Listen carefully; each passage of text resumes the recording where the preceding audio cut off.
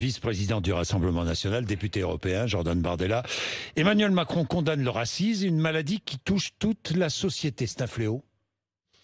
Oui, c'est un fléau euh, qu'il faut, qu'il faut évidemment combattre. Maintenant, euh, moi je dois vous dire que je suis assez consterné de voir la manière dont euh, les responsables politiques du gouvernement, d'ailleurs, hein, Emmanuel Macron et le ministre de l'Intérieur, M. Castaner, en première ligne, ont lâché ces derniers jours la police et la gendarmerie qui font un travail exemplaire qui sont euh, en première ligne aujourd'hui face euh, à la recrudescence de la délinquance, de l'insécurité, et qui ont été euh, lâchés après une semaine de manifestations anti-flics dans notre pays où des minorités, parce que ce sont des minorités, je ne crois pas qu'il s'agisse de l'expression de la majorité silencieuse, ont exprimé une haine à l'égard des forces de l'ordre, une haine à l'égard euh, de la police, à l'égard de l'État, à l'égard de la France, que euh, le ministre de l'Intérieur et le président de la République, qui semblent tétanisés, ont difficilement condamné. Bien, je vais revenir sur les mesures, sur euh, Ouais. l'intervention de Christophe Castaner, notamment mardi matin, ici même, qui a fait beaucoup, beaucoup j'ai de écouté. bruit, que vous avez regardé, que vous avez écouté, Jordan euh, Bardella. Euh, George Floyd aux États-Unis, martyr du, du, du racisme.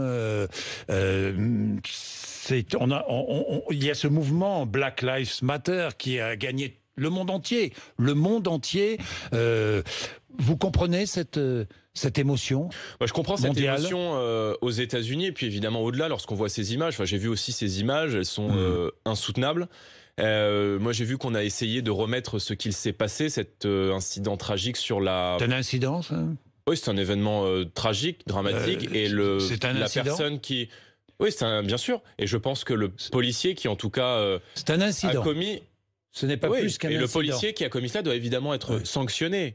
Oui. Euh, Non, mais maintenant, je- je- c'est un incident ou c'est plus qu'un incident? Ben, c'est un homicide, volontaire Bon. ou non, c'est la justice qui le dira. Bon. Mais si vous voulez, je note que beaucoup ont cherché à instrumentaliser ce qu'il s'est passé là-bas pour l'importer sur le sol français notamment.